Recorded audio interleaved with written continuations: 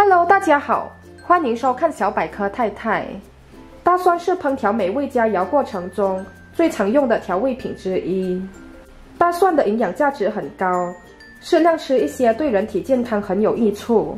大蒜中所含有的硒元素，还有良好的抑制肿瘤和抗癌的作用，还含有极具杀菌力的大蒜素，并且具有降血脂的功效。大蒜虽然健康，但是吃错大蒜对人体反而有害处，而且有些大蒜的营养价值会比较低。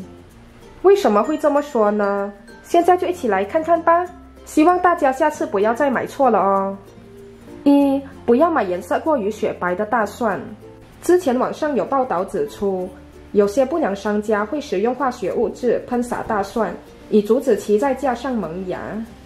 甚至还会利用氯漂白大蒜，以让大蒜看起来更雪白美味。甚至使用了溴甲烷来进行杀虫。溴甲烷是一种非常有毒的农药化学品，接触高剂量的溴甲烷可损害呼吸道和中区神经系统。建议大家不要购买颜色过于雪白的大蒜，因为这种大蒜可能是打过药的。最好选择乳白色的大蒜。或颜色有点紫色的大蒜更加安全哦。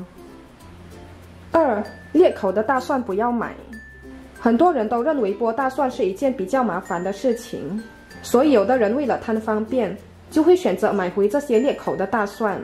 虽然这种裂口的大蒜会比较容易剥开，而且看起来和其他的大蒜没有什么区别，但是已经开了口的大蒜，保质期时间不长，而且还很容易被氧化。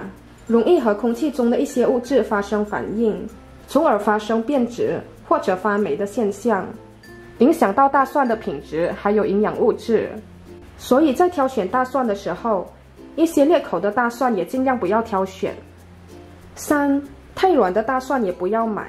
新鲜的大蒜用手按压一下，都非常的饱满硬实，这样的大蒜通常里面没有发霉，很新鲜。如果有的蒜瓣很软，有空洞，则证明这蒜瓣可能发霉了或者坏了，不宜选购。这种发软的大蒜大多是缺水腐烂了的，甚至有些可能里面已经发霉了。这种发霉变质的大蒜买回家吃了对身体有害，所以大家在买大蒜的时候一定要按压一下大蒜的硬度。太软凹下去的大蒜，大家一定不要购买哟。四，看大蒜的品种。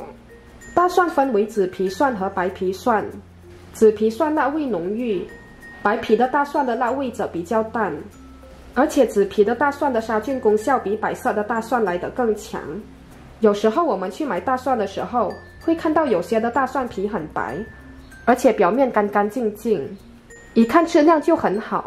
但是其实这种大蒜里面并没有特别多的营养价值。如果大蒜的表面有一些斑驳的紫色，这种更加的好。如果大家觉得我的视频对大家有帮助的话，记得按赞还有订阅我哦，也记得按下小铃铛，才能在第一时间收到我的最新视频。谢谢大家的支持，拜拜。